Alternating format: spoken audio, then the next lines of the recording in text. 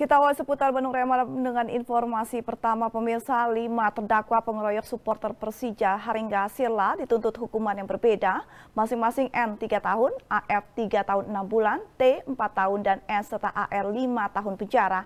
Kelima pelaku yang masih dinyatakan di bawah umur dinyatakan terbukti terlibat menganiaya hingga menewaskan seorang supporter Persija Haringga Sirla.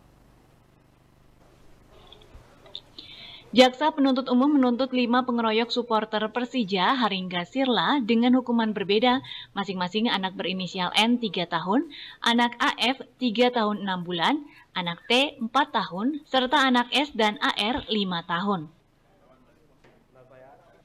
Kelima pelaku yang masih di bawah umur dinyatakan terbukti terlibat menganiaya hingga menewaskan seorang supporter Persija Haringga Sirla. Kelimanya dianggap telah melanggar pasal 170 KUHP Junto pasal 55 ayat 2 ketiga KUHP Junto Undang-Undang Nomor 11 Tahun 2012 tentang Sistem Peradilan Anak. Karena menggunakan sistem peradilan anak, hukuman yang dituntut setengah dari ancaman maksimal pasal yang didakwakan. Kan yang kita sidangkan juga ini kan di bawah umur.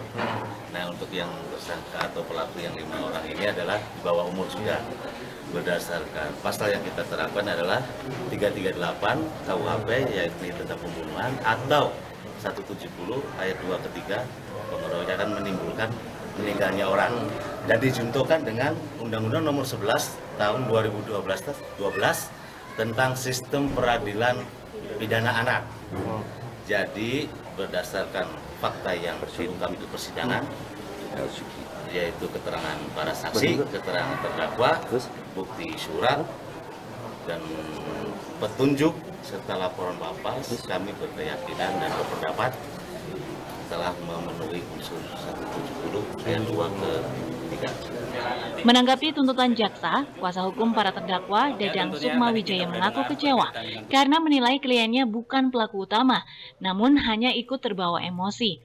Dadang akan mengajukan pembelaan pada sidang selanjutnya. Tuntutan yang dibacakan oleh jaksa umum di mana tadi menuntut uh, lima orang, di antaranya NSF, kemudian yang kedua uh, uh, AF, kemudian yang ketiga SH, yang keempat uh, AAF, kemudian yang ketiga TD. Kemudian dari rangkaian dari tadi apa yang dibacakan oleh tuntutan jas umum, tentunya kami sangat prihatin terhadap tuntutan dan kami sangat kecewa.